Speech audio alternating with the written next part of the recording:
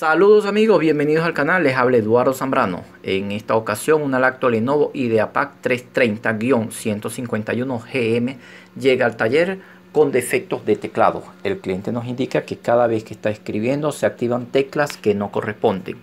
Ya lo ha llevado por efecto de garantía porque este equipo está todavía dentro del marco del tiempo. Este es un equipo 2020 y fue comprado hace poco en la tienda le indican que no tienen solución o no tienen soporte para ello ya que esta marca no tiene soporte para Venezuela. Al traerlo al taller notamos que este teclado viene compacto con el mousepad, es decir, todo el frontal viene pegado en ello.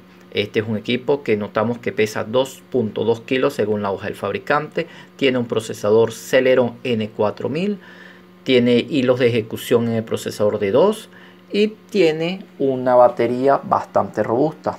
Un disco duro de 500 como lo observamos allí en pantalla, una batería y una pequeña tarjeta madre, pero potente, digámoslo. Es bastante compacta. Vamos a mostrarle para efectos de técnicos si necesitan la serigrafía. Se le estamos mostrando. Este equipo posee 4 GB de memoria DDR4 trabaja a 2133 MHz.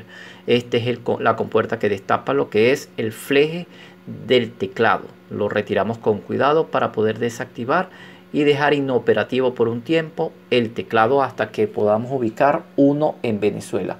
Notamos o le indicamos que en Venezuela hemos hecho la búsqueda y no conseguimos en ningún taller ni en un soporte técnico lo que es este frontal.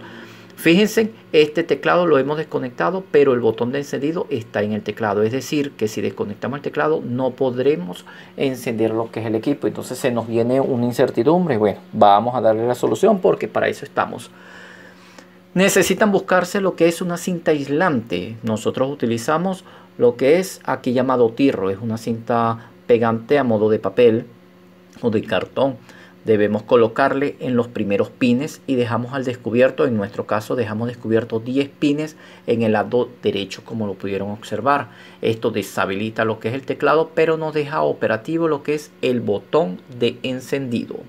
Este equipo Lenovo hemos buscado el teclado en el exterior como es un, teclado que viene en inglés, es bastante costoso. Un proveedor nos indica que pasa de 150 dólares y otro proveedor nos indica que 200 dólares colocarlo en Venezuela. Así que bueno, es bastante costoso como lo pueden observar.